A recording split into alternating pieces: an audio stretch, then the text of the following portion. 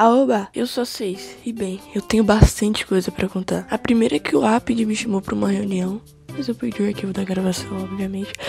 Então passa lá no vídeo dele pra ver o porquê dessa reunião. Mas bem, eu decidi estar fazendo alguns posts aqui no servidor porque tinha muito monstro spawnando.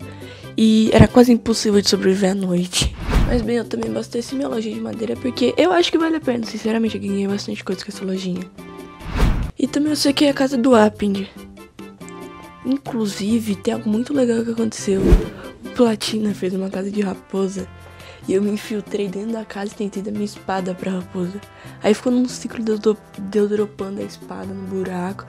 Depois eu cavei um túnel de fuga, foi muito doido.